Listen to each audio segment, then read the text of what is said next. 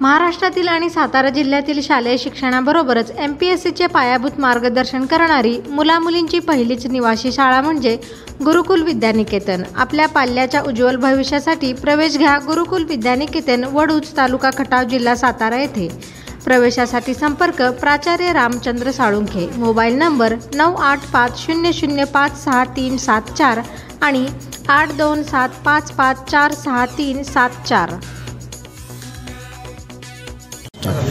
आमच्या वडिलांनी साप चावला होता. साडेसात सातच्या दरम्यान तिथं आलो. तर इथं उपचाराला घेतले नाही त्यांना.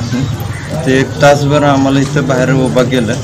परत आम्हाला आम्ही बाहेरच्या माणसांनी बोलवून घेतलं. त्यांनाच सांगितलं तर आमचा उपचार करत नाही. मग त्याने येऊन त्यांनासनी सांगितलं. तेव्हा त्यांनासनी आतमध्ये घेतलं. सलांची एक बाटली लावली.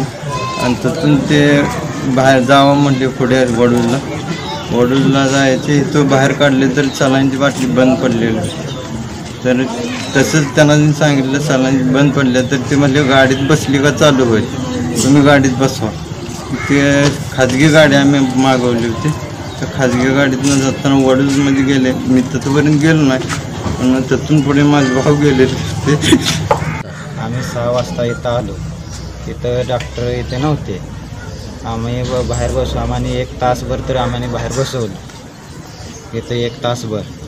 तरी आमची दखल कुणीच घेतली नाही. परत ते सिस्टरने होत्या दोन त्यांनी आत बोलवलं आम्हाला तर आमच्या वडिलाचा उपचार अजिबात केला नाही त्यांनी. फक्त म्हणजे जावा वडूजला. म्हणलं आम्हाला ॲम्ब्युलन्स द्या म्हणलं. तर म्हणजे ॲम्ब्युलन्स बाहेर गेलेले. म्हणलं दोन दोन ॲम्ब्युलन्स आहेत त्या म्हणले. नाही म्हणलं दोन्ही पण बाहेर गेले मग आम्हाला आम्ही सेपरेट आम्ही वाहन करून आम्ही वडूला गेलो. वडूजमध्ये गेलो तर वडूजमध्ये सुद्धा आमची दखल झाली नाही. त्यात पण डॉक्टर नाही.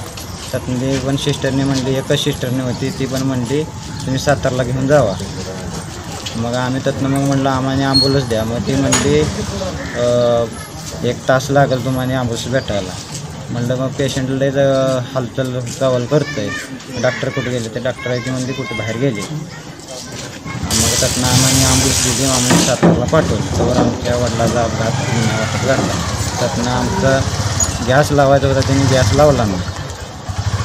तेवढं झालं आणि आमच्या वडिलावर अन्याय केला आहे अन्याय केला आणि उपचार आम्हाला हिथं दिला असतं. तर आमचा वडील वा वारला नसता. आमचे हे वडील व्यवस्थित राहिले असते. आणि आमच्या अन्याय केला. आम्हाला काहीतरी मार्ग दाखवा आहे.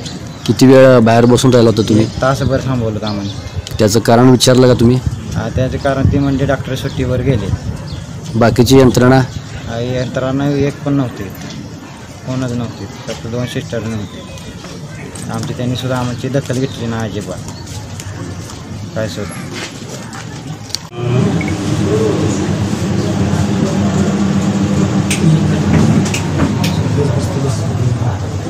सध्या आपल्याकडं एकशे चाळीस वैद्यकीय अधिकाऱ्यांची पदं असून त्यापैकी सत्तर पदं रिक्त आहेत.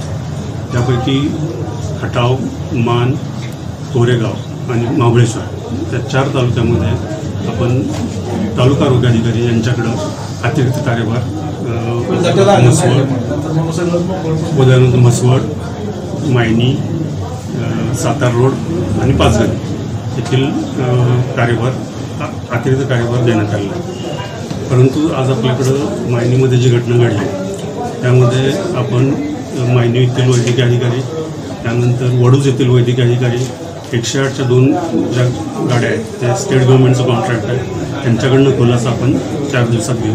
आणि त्यानंतर आपण शिवसाहेबांच्याकडे सगळे खुलासे मांडून त्यां- ज्यांची चूक असेल त्यांच्यावर प्रशास कारवाई नक्कीच करण्यात येईल. प्राथमिक काय वाटतं डॉक्टर तुम्हाला आता? हे जे सगळं ऐकल्यानंतर समोर जे दिसतंय चित्र तुमच्या अहवाल येईल नंतर ठीक आहे. तुम्ही एक डीएचओ म्हणून तुम्हाला काय वाटतंय? म्हणजे तुम्ही आता हे घटना समोर पाहताय. सगळं तुमच्यासमोर चित्र आहे. यामध्ये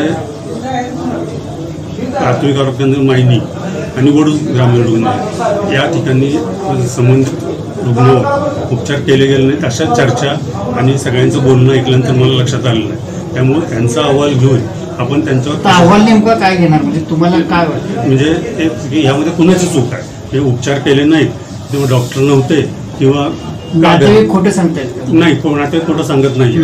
पण ह्या सगळ्यांच्या चौकशा केल्या जातील सगळ्यांच्याकडून खुलासे घेतले जातील आणि ते खुलासे आम्ही शिवसाहेबांच्याकडे मांडू चार दिवस कशासाठी तुम्ही दिला? खुलासा घ्यायला आपल्याला खुलासा लिहायला चार दिवस लागतो का? खुलासा आपण सात दिवसात घेतो परंतु तांत्रिक बाब असल्यामुळं किंवा आकस्मिक घटना घडलेली असल्यामुळे आपण खुलासा दोन दिवसात मागणार त्यामुळे उद्या पत्र जरी काढलं तर त्यापुढे दोन दिवस लागतील म्हणजे चौथ्या दिवशी खुलासा आमच्याकडे येतील त्यामुळे आम्ही त्यानंतर ते शिवसाहेबांच्याकडे मांडू.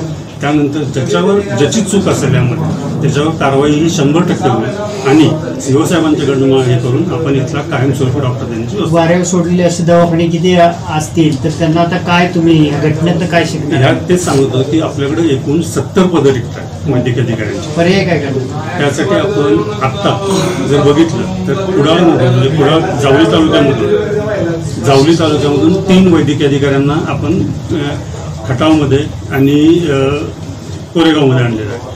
फलटण तालुक्यामध्ये अशीच परिस्थिती आहे. सातारा तालुक्यामध्ये पण अशीच परिस्थिती आहे. आपण कराड आणि पाटण इथनं जे डॉक्टर आहेत त्यांच्या नेमणुका या तीन ता- चार तालुक्यामध्ये करतोय. आणि त्याप्रमाणे ते वैद्यकीय हजर होत आहेत. त्याप्रमाणे आपण कामकाजाची व्यवस्था केली ही घटना घडल्यानंतर एकाचा नाही, नाही नाही. हे अगोदरपासून केलेलं आहे. हे अगोदरपासून केलेलं आहे. जर आपण बघितलं तर माझ्याकडे यादी आहे. त्या दुसरे यादी जे डॉक्टर होते आता टी एच ओ हं. ते का नव्हते इथं? म्हणजे त्यांचं का लक्ष नाही ते अतिरिक्त कार्यभार असल्यामुळे ते वडूजमध्ये ऍक्च्युली तालुका आरोग्य अधिकाऱ्यांचं काम करतात. त्यामुळे तिथल्या आणि इथल्या गोष्टी तर चोवीस तास इथं समोर काम करतात ते राहिले कुठं होते? वडूजमध्ये होते. वडूजमध्ये तर नव्हते ते. ते वडूजमध्ये होते. नव्हते हे काय लोक सांगतायत ना? नव्हते. नाही वडूजमध्ये ते त्यांची पोस्टिंग आहे. ते तुम्ही पंचायत समिती वडूजला तालुका आरोग्य अधिकारी ते तिथं काम करतात. तिथं नव्हतेच ते. ते ते सुट्टीवर आहेत का तर नाही सुट्टीवर नाही. नाही येत मग त्यांनी मुलाखतीत सांगितलं मी सुट्टीवर आहे म्हणून. नाही. खोटं सांगतायत का? चौकशी करतो. खोटं सांगतायत? नाही चौकशी करतो ना त्यांची. आहेत का सुट्टीवर? नाही आहे सुट्टीवर नाही. तर तेही जबाबदार असतील का हो असणार. मी तेच सांगितलं ना की मायनीमध्ये ज्यांच्याकडे चार्ज आहेत ते इथं सी एच ओ आरोग्यवर्धनचे डॉक्टर आहेत ते ह्या सगळ्यांची चौकशी केली जाईल तसंच वडूजमधल्या डॉक्टरांची चौकशी केली जाईल एकशे आठच्या दोन डॉक्टरांची चौकशी केली जाईल आणि मग त्याच्यावर कारवाई करायचा प्रस्ताव मांडला धन्यवाद.